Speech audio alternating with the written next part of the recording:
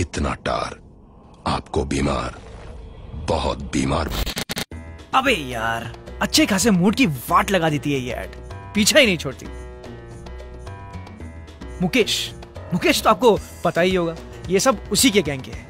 वही जो no smoking के साइंस और साइंस को इग्नोर करते हैं। वही जो ना दुआओं की सुनते हैं, ना दवाओं की। और वो भी जो शायद बार्स क्लब्स और दोस्तों के घर में बैठ के बड़ी बड़ी बातें करते हैं कि 40 के उम्र के बाद जीवन में रखा ही क्या है? जो है आज है, फिर क्या पता कल हो ना हो। पर इनका ये हाल हुआ कैसे? बोर्ड है शायद, या सुबह परेशानी होती होगी। और काम के बीच में ब्रेक लेने के लिए इससे अच्छा रीजन तो हो ही नहीं सकता। नए ऑफ़िस में ज्वाइन करने के बाद कूल ग्रुप में घुसने का और पार्टियों में कूल दिखने का श्योर शॉर्ट तरीका है ये। इतने फ़ायदे माय गॉड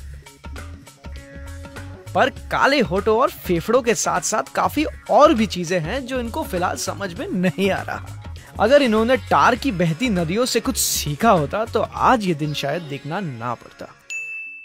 इन्हें छोड़ो। क्या तुम छोड़ोगे किसी एक मुकेश के लिए?